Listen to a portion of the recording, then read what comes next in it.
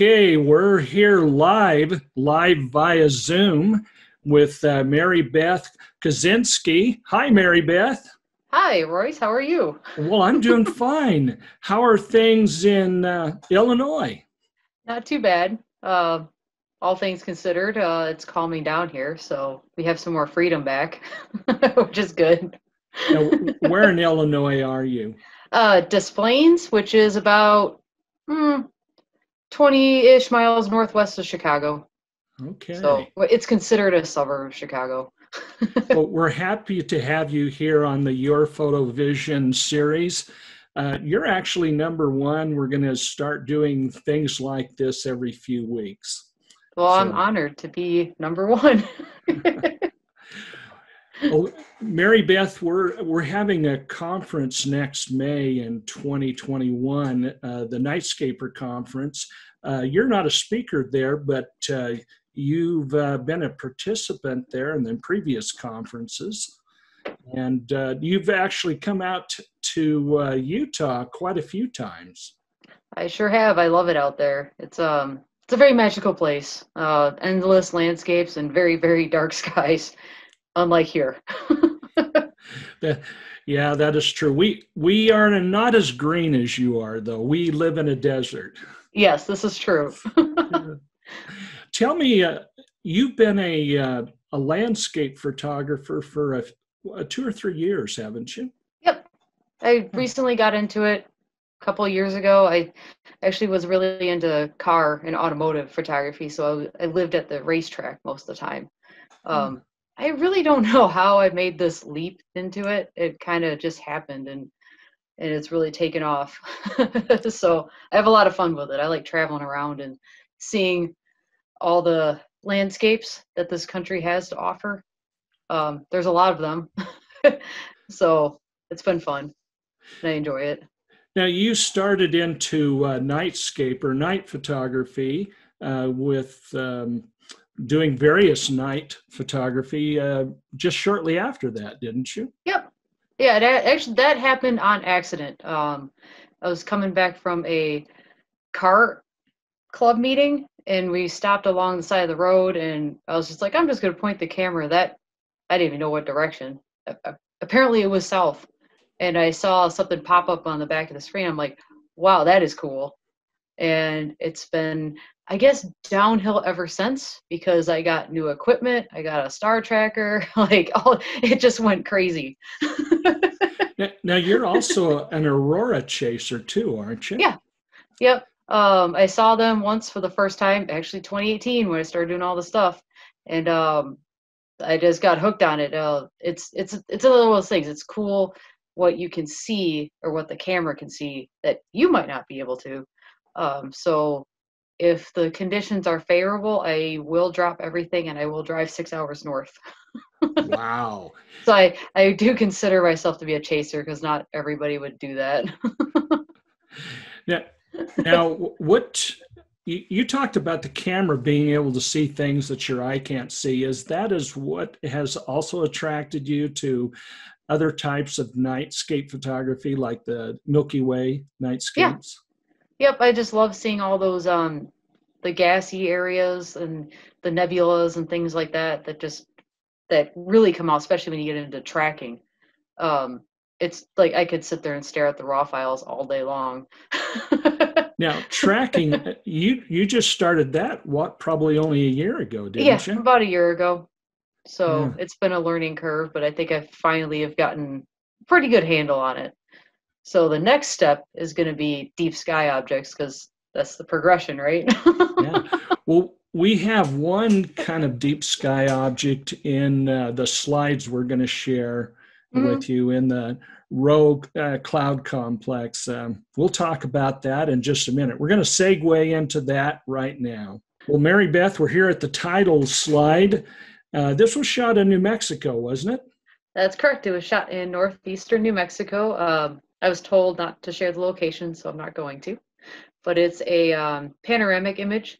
It was shot with my now broken 14 millimeter, 14 to 24 millimeter Nikon lens. So this was shot at 14 millimeter because you couldn't do anything else with it. Um, I normally don't shoot panos at 14 because they're kind of a pain to stitch, but you can sometimes force a computer to do things that it doesn't want to. and you were in the vertical or portrait position. Yeah, I was in the vertical position, and the uh, subtle moonlight in this actually is why I like it because the it changed the color of the air glow to a little bit more teal. Um, to me, that's a little bit more dreamier. So, and with the clouds, it actually kind of all worked out, even though the core is not visible, but I don't, yeah, you know. I, I, love the clouds. Yeah. Well, let's talk about this slide. This is uh, done, I think, last year at the very end of your Great Milky Way chase. Um, you're in a triumph mood. Tell tell us how that ha- what happened here. Yes, yeah, so this is the last night of the Great Milky Way chase from 2019. It's night 23. If I remember the rules correctly, because of discrepancies with latitude, um, you only had to shoot 21 of the 23 days. And um, last year ended up being really good for me. Uh, I had only three nights where I didn't get anything.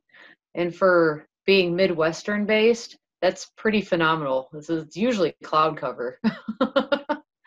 so now I did have to chase clouds and like work around them, but uh, it was pretty exciting. So that was my uh, mood of that night.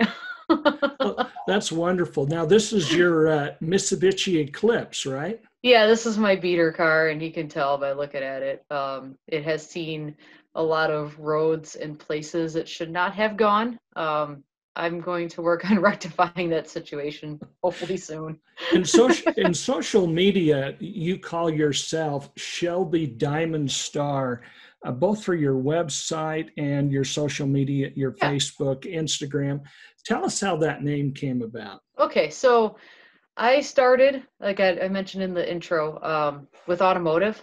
Uh, so the name is actually derivative from Carroll Shelby of Shelby Fords, who eventually got into the Dodge stuff, and then Diamond Star, which is Diamond Star Motors, which was a Mitsubishi Chrysler joint venture in the late 80s, early 90s that created the Eagle Talon, Mitsubishi Eclipse, Plymouth Laser, and some other variants. Um, I have two Eagle Talons, which are race cars. Um, so that's I combined those two together, and I just kind of kept it because it's really goofy sounding and it has a ring to it, I guess. Well, your job is in the uh, automotive event business, isn't yeah. it? Yeah. Yep. I uh, work on the I work on trade shows and um, the automotive circuit in particular. So I work for or am a representative for Fiat Chrysler automobiles. So that whole how many miles did you travel in this uh, Great Milky Way chase? About 3,500 total. and and how many? Uh, most of these nights you got to sleep in your own bed. You came yeah. back home. Yeah, actually, um, there was a couple nights I was working events, and I actually was traveling traveling back and forth out of a hotel room. Um, but a couple of the the spans where I could go for a longer time, I would go up north up to Wisconsin or Michigan and just hang out there for a couple days. And how do you keep yourself awake during these uh, all nighters? Lots of uh, Monster Energy drink. now we're here at Zion's, uh, overlooking uh, the Virgin River. Yep. Uh, this is a this is an iconic location. We see uh, the Watchman in the background and the Milky uh-huh. Way above that. Tell us a little about, bit about this. This was done just a couple a few months ago, wasn't it? Yeah, actually, um, about a month ago now. Um, I was out there at the end of May, but uh, actually, because I was supposed to be there for the Nightscaper conference, but you know that'll be next year. Um, so I've always loved this shot, and I've always wanted to do you know my own version of it and uh, to do it justice, I wanted to do a um, more narrow lens. So I used a 35 millimeter on it and tracked the sky, and then did a very long exposure for the foreground to bring out all the details. That exposure for the foreground was like 15 minutes. wow. Like, that yeah. is a long time. Which it's a very makes, long time. Which makes it a you know approaching sunset daylight look, uh, which is really cool. It's a little bit more of a high key than a your normal yeah. low key type picture, it, and and there's a lot of light on the mountain. Uh, which, yeah, there is. Uh, and that's coming from uh, light pollution from the town of little town of Springdale, isn't it? Yep, that's correct. It, it has confused people when I posted. They thought it was a sunset blend. Yeah. I was like, no, like this is all shot well after midnight. well, you can see uh, some of that light pollution on the right hand side, uh, you know, the glow down in the valley coming up. Mm-hmm. But it's such a wonderful shot, very iconic. You've done a great job to it. You got a nice S curve, a nice curve in the river there leading into it. Beautiful shot there. Well, thank you. Now we're in Canada in Banff, aren't we? Yep, this is uh, Lake Lake Minnewanka in Banff, Alberta, Canada. It's a twilight shot. Um, so we were out there. I was out there with a group of people, um, including my now good friend Rachel Ross Jones, who's a wonderful person, and um, this is one of her favorite spots too. So I'm gonna show that full frame so mm-hmm. they can see the whole thing. Yeah, you can see the snow on the on the ground there. Uh, so it's a kind of a it's a blended shot. So the sky is 20 images stacked, and then the uh, foreground was done at 30 seconds at like a higher, or I should say, more closed down aperture uh, to get it sharper. Yeah, a lot more depth of field. You wouldn't mm-hmm. be able to get those uh, uh, the snow detail uh, without that. Right. Yeah. yeah, but I love the uh, glow on the stars. Um, is that because of the atmospheric conditions, yep. or did you use a filter? That was actually due to the clouds moving in, which you can kind of see the the motion being blurred out from the stacking. Um, we had a lot of cloud cover moving in and out, and it uh it provided that little bit of glow on the stars. yeah. So each exposure is what, 15, 20 seconds each? For the sky, it, um, we uh, actually pushed it uh, for, or pushed the camera. So that's ISO 10,000 at like six seconds. Okay, so you did the shorter exposures, yep. but you did about 20 of those. So yes. altogether, you've got two minutes of total exposure, which is why the clouds have moved quite a bit. Correct. uh, that's that's wonderful. Now, now you're here at, at uh, is this uh, Lake Michigan? Yes, that is Lake Michigan. That's Cave Point County Park in Door County, Wisconsin. In this particular shot, um, I was specifically going after getting the Milky Way with snow and ice, which there's a small window of time you can do that, and it's uh, you know end of February. It starts to come back up right before um, Astro Twilight Dawn. And so this I had about 20 minutes to work with, but it worked out. And actually, the light pollution coming from Michigan there was kind of a happy surprise because it uh, it really highlighted the foreground in ways that I didn't think, and um, I didn't have to like really expose that long on these because of that. Um, I did have to focus stack it because of how close those trees are. So it's focus stacked for three images and then blended with a uh, tracked sky shot. That and that was about two minutes on the sky. Well, it has an incredible amount of depth. I love it. Well, we've got a. Is this a moonrise? Yep, that's a moonrise over Chicago. Um, that's another shot I've been kind of dreaming about for a while because it's the Sears Tower, as most people know, but now it's the Willis Tower. And um, I always thought it'd be cool to get that big moon with the building. Um, so you got to be really far away for this to get the uh, optical illusion to work. I was actually about 14 miles away as the wow. crow flies, and that's shot with a 600 millimeter lens. Okay, is that the 150 to 600? Yeah, Sigma. Sigma. Yep. Yeah, heavy, heavy, heavy lens. I'll tell you that much. well, well, you're you're you, you say you're about 15 miles or 14 15 miles away so you're shooting through a lot of atmosphere yes that's why it's not super sharp um, i would like to try this again a little bit closer even though the effect probably won't be as crazy because um, you're closer but i'd like to see if i can get the buildings a little sharper you know it's it's good enough and i think people know that when you get the moon this big and it's this close to the horizon you're cutting through a lot of atmosphere yeah and you you get the waves uh, on the you know, heat rising up from the city and causing all those kind of problems. What time of year was this? This was in May. It was the very beginning of May, so it was like May sixth Yeah. or seventh around that. Yeah. Um, I had to do a lot of planning with actually PlanIt Pro. Um, I started using because I found it to be a little more accurate with moon stuff versus PhotoPills, even though I use them both all the time. yeah. But uh, yeah. I've had I've had several people tell me that on the moon that uh, PlanIt's just a little bit more accurate. yeah, just a little bit. Yeah, and when when you're talking uh, uh, tenths of a degree here, I mean just a few tenths of a de- one degree off can really throw you. Did you? Oh, yeah. As this as this was starting to come up, did you have to move your tripod a little bit to kind Um, of fine tune it? Yeah, just a little bit. Uh, it was hard. I, I tried not to move it too much because the whole rig was really heavy. Um, but it, that I had I had some growing pains with this because I learned that I had to use a remote. I had to turn on all the stabilization things because any little minute movement, it was blurry. Yeah. Did you use mirror lockup on this too? Yes, I did. I had to use everything. Yeah. Okay, we're we're at the uh, Bond Falls now. Yep, that's Bond Falls. It's in the western Upper Peninsula. Um, I visited this spot last fall just as a scouting location. I'm like, okay, I have to come back here at nighttime. I originally wanted to shoot this with ice and snow, um, but you know the world had other plans at that time. So I, I was here in May. I, I did a lot in May actually.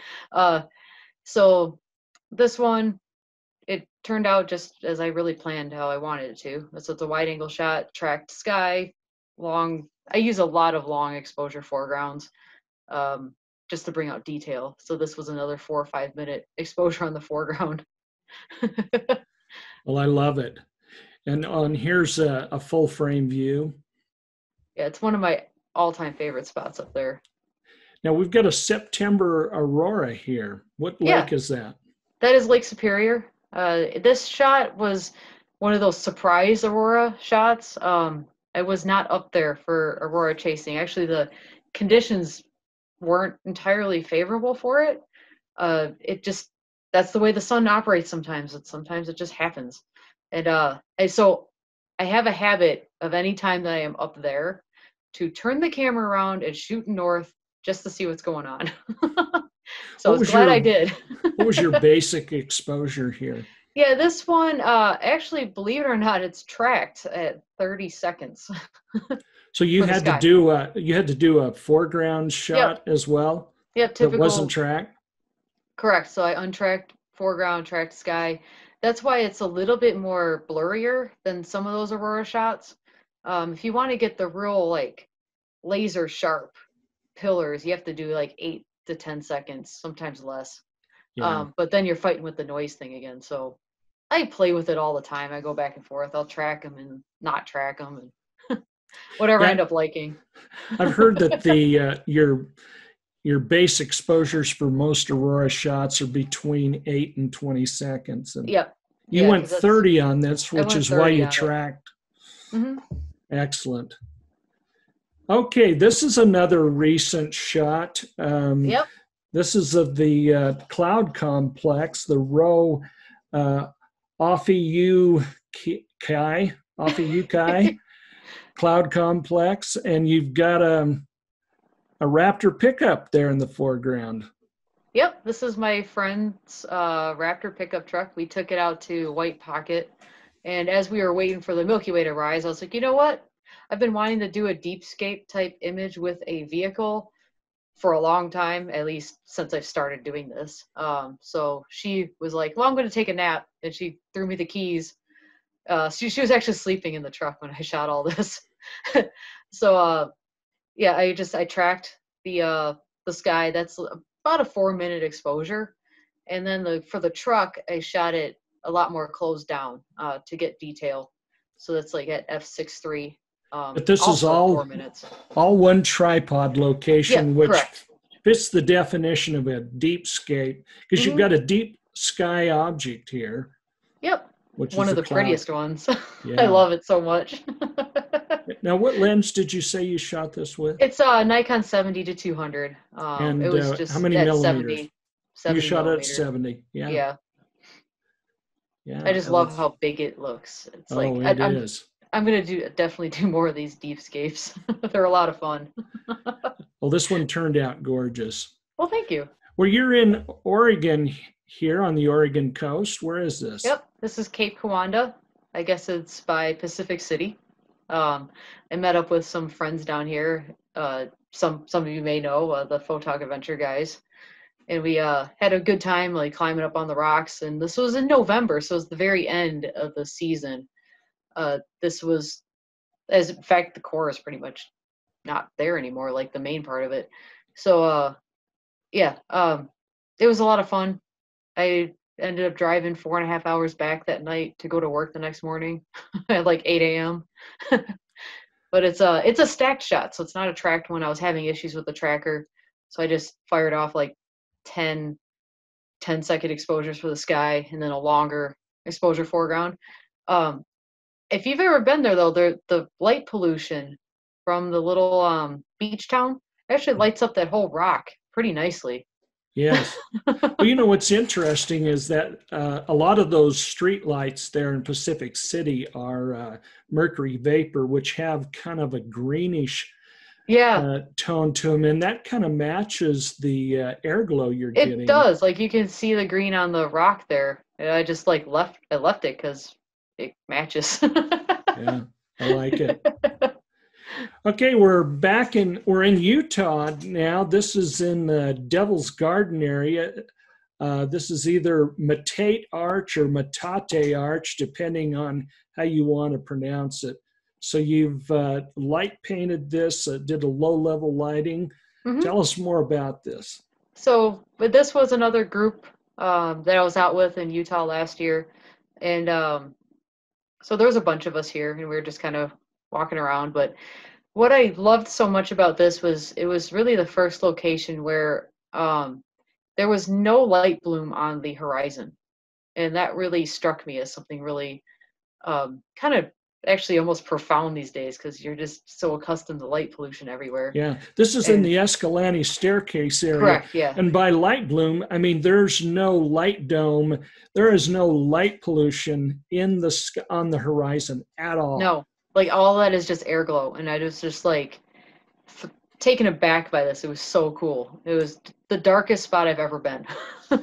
You know, you know, I have processed images from this area, and then processed images from other areas, and uh, the first time I did it, I couldn't get the green out of the the picture. There, there was so much air glow. I mean, the sky is so completely different here than it is in many other areas. it is. It's crazy, and I love it so much because it's just like, wow, this is what it's supposed to be. yeah. Yeah, so if any of you shoot in this area and uh, it looks like you're getting too much blue green, uh, it's not your camera, it's not other problems, it is the way it is in this area. Absolutely. But this image is so crisp and sharp. How long was the uh, tracking exposure? so the tracking was two minutes on the sky, and then I believe that the I gotta look up my notes here. Yeah, the ground was done at two and a half minutes, so they're pretty close in exposure. Wonderful. Mhm. Okay, we're back in Illinois. uh, Michigan. Oh yeah, you're we're in Michigan. And this is the Mackinac Bridge. Yep, that's the Mackinac Bridge. I uh, threw this slide in here because it's a, uh, I consider it to be kind of a culmination of everything that I've learned over the two years because it is shooting through heavy, heavy light pollution off of that bridge. Um, so it's a combination of using stacked tracked images and then processing out light pollution by using exposure blending on the bridge. So And you're you saying this. this isn't your most beautiful image in your opinion, but the yeah. what you've had to go through to get this is just amazing, isn't it? yeah it's it's a lot of learning process and it really opens up your eyes to how much you can really pull from really images that you seem you can't do anything with Yeah, I would presume that star to, to the right of the dark horse uh, nebula is probably Jupiter. yes, that was Jupiter because this was last year. Yeah. So that's probably about the only star, which is really a planet, that you can Right. see that night. Yeah, at least in this um particular spot. If you go, actually, the Upper Peninsula is pretty dark overall. Um, if you go maybe 10 miles either direction, you'll be in really dark areas. But because the light on that bridge is so intense, it's about a Bortle 4, um, Yeah. is what it's classified as. Yeah, and I bet directly over the bridge it's about a Bortle 8. yeah, probably. Yeah, it's Yeah. it's pretty obnoxiously bright. They've uh they've switched the lights over the years, so now they're like more of the real bright LEDs. which is even worse. yeah.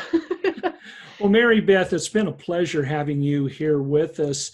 Uh, this is where people can learn and see more about you, your website. Uh, as we said before, everything is Shelby Diamond Star, either www.shelbydiamondstar.com or Instagram Shelby Diamond Star or Facebook Shelby Diamond Star. Yep, I try to keep it simple. Yeah, wonderful. Well, uh, you can also reach me at roycebair.com and on there on Instagram. Uh, roycebair.com has uh, our Into the Night blog, and this is all. Uh, this is also advertising our Nightscaper conference, which uh, was postponed this year in 2020, and we're picking up it again in 2021 in May.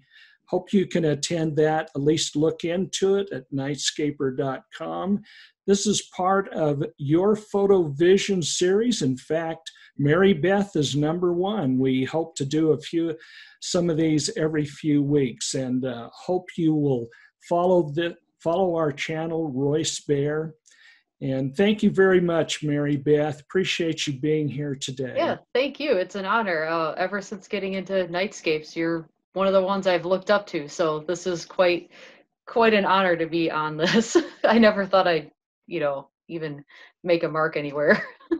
well, you do a wonderful work and thank you for being here today well, thank you. And definitely go to the Nightscaper conference because I had a blast and I'll be there next year.